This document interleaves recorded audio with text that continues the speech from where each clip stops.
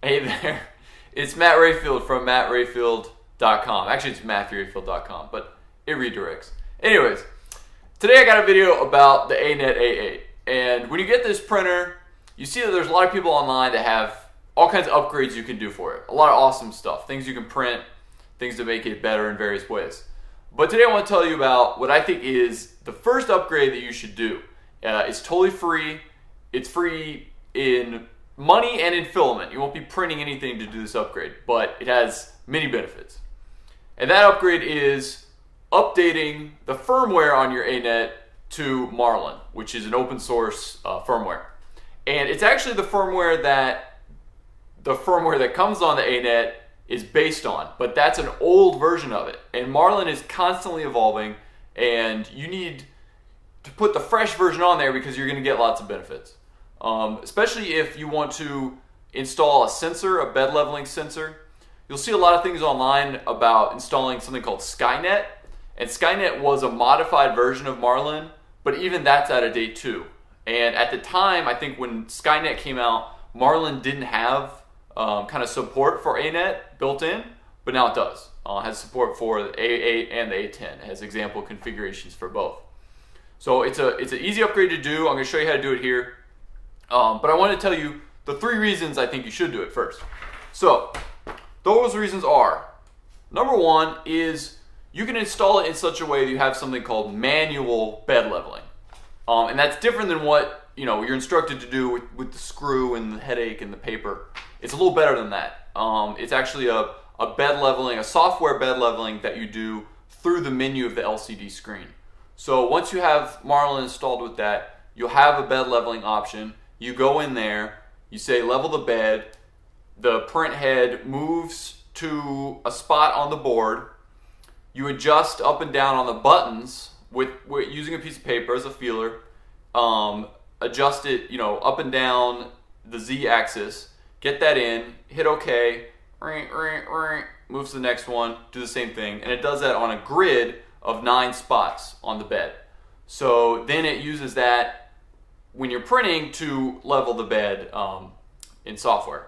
And it makes things a lot easier than whenever there's a problem with bed leveling, having to break out the screwdriver and all the junk. Especially if you if you want to print on glass, because then your screws are underneath the bed, depending on how you have it set up, and it's a pain in the butt. So it's just so much nicer to have that software option. And then when you want to upgrade to a sensor later, you could do that. So that's number one. Number two reason that Marlin is, should be number one on your upgrade list is protection, safety. The ANET has a reputation, all cheap Chinese printers have a reputation for catching on fire. And it's not a joke, it's, it's something that happens. I will show you this right here. This is a connector that um, was my um, heated bed connector. And I was printing with it a couple days ago and I noticed smoke coming out of it. And I kind of thought, ah, I don't know, that's a little smoke. It's okay, it'll be all right. And I waited, and um, then then the bed stopped working. Now, that's one way that it can overheat. The other, I mean, I guess there's lots of ways your printer could catch on fire, but two major ways is something like that with the heated bed, and then two is with the hot end itself, that the uh, either the sensor or the I don't know, I forget what you call it, but the thing that gets hot, the heating element, one of those can fall out of the block. And then what happens is because the sensor is not there to check the temperature of the hot end, it's like over here, it thinks things are still cool, so it just pumps more heat into the heating element. And I've seen a video somewhere, I couldn't find it or I would link it here, but I saw a video where that happened. They were, they were testing it, and the heating element got so hot that it just melted on out. So that is not what you want. That is seems like a sure way to catch everything in your house on fire. Um, and Marlin has protections in it so that when the fir- the software recognizes that oh I'm, I'm heating I'm heating I'm heating I'm heating and nothing's happening that I should stop. And because I had it installed when my heated bed connector burnt, it actually did that. It actually stopped. It um, I was, like I said, because I was there, I saw it smoking, and I was waiting to see because I wanted to get this printout. So I was waiting to see if it would still work, and instead Marlin popped up a message that said heater bed failed, um, you know, and it stopped.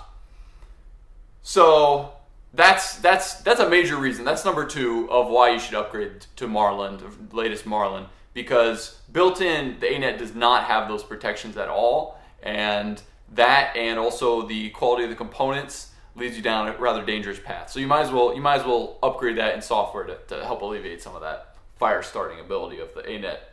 And then number three I've got is just the upgrade path. So if you want to later on install bed leveling sensor, which is actually why I, I installed Marlin in the first place, was to install a BL Touch. But if you want to install a bed leveling sensor, or you want to do later down the road, like um, you know multi-material or something like that, or I've looked through the firmware. I mean, it even has things like there's a, some code in there for printing sugar or printing chocolate, which is pretty wild. Uh, it even has support for RGB lights. I didn't. That's kind of strange to me, built into the firmware, but hey, it's there. So there's all kinds of things you can do once you have Marlin installed that you wouldn't be able to do with the stock firmware. And so the third reason is just there is that upgradability um, in software once you've got it installed. So it lets gives you gives you kind of a leg up on on the upgrade path there. And that's it. I mean, it's a free upgrade. All you need is a USB cable and a computer, and you can upgrade it yourself. And I'm going to show you how to do that right now. All right, so first up, we're going to download the Arduino software, Arduino IDE. And with this, we're going to compile the firmware and also use this to transfer the firmware to our ANET A8's board. And just download that there. All right. And next up, we got to go to this GitHub repo. And all these links are in the description, by the way. Um, but this is the board definition. This is going to tell the Arduino IDE how to transfer the firmware over to our ANET. Uh, it's just a zip file, and I'll show you what to do with that in a second. Next up, we're going to go to the Marlin website and download the firmware's source code. It's a zip file. And once we're done with that, we're going to go ahead and install the Arduino IDE. And I sped this up so you don't waste your time. All right. And next up, the ANET board definition. So it's just a zip file. It has a folder in there called hardware. And we're going to drag, uh, drag and drop that into the Arduino folder in the documents folder on your computer. And on Mac, it's basically the same thing. I think it's the documents folder. This is Windows, obviously, but these instructions are almost the same. So next up, we're going to um, unzip the Marlin firmware. There we go, got that. And we're going to go into the example configurations. There's one already made for the ANET A8. Go in there and copy these two files. Then we're going to go up a couple directories and paste them here and just overwrite what's there. All right. And now we're going to open up the project file for Marlin itself, which will open up in the Arduino IDE. And once this is open, we're going to go to configuration.h up in that tab.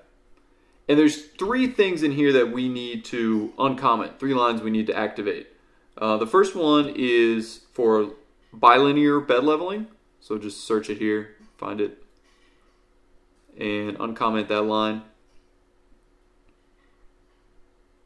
And then the next one is the LCD bed leveling option. This is going to add to the menu on our printer the option to do the bed leveling with the LCD. And then the last one is the probe manually option, which just tells the firmware that we don't have a sensor, but we want to do bed leveling manually through the menu. So we need to uncomment that. And then once you've done that, just make sure your printer is on and that the USB cable is plugged in. And once you're good with that, go up to Tools. We need to check that ANET is selected as the board we're sending this to. And then also check the port. It's probably the only port in that menu. If not, you might have to try other ones. And then we're going to click Upload. And it's going to compile, it's going to upload. And then when it's done uploading, your printer will restart and you're good to go. All right, so now that you've installed it, uh, you're gonna get a menu, a new menu now on your LCD screen. And if you're coming from the, the previous firmware, which you are, uh, you'll notice that the interface is slightly different. Some of those things in the original ANET firmware were like, instead of the middle button to go into menus, you use the, the right button. Um, that's changed once you do Marlin, so it might take a little getting used to, but I think it's actually more sensical than it was with the ANET firmware. Um, but you're going to have a new bed leveling menu, which I'm going to show on the screen right now. And you can do that new bed leveling procedure. Um, everything else, the, the thermal runaway protection, that stuff's all built in. And uh, yeah, you've got yourself an upgraded printer now. Better software. Didn't cost you a dime, just cost you a few minutes of your time. Uh, that's all for today. Hope you enjoyed it. Hope it was useful to you. And uh, thanks for watching. Peace. That was weird. Peace. Peace. Oh, hey. If you like this video, why don't you leave it a like? And if you want to see more videos, why don't you subscribe to my channel? Or check out MatthewRayfield.com for more content. Thanks, have a nice day.